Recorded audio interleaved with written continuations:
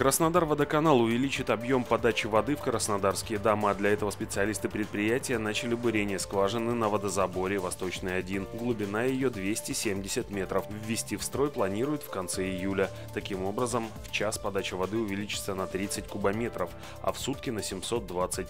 Для бесперебойного водоснабжения водоканал планирует до конца года пробурить и восстановить работу свыше 20 артезианских скважин.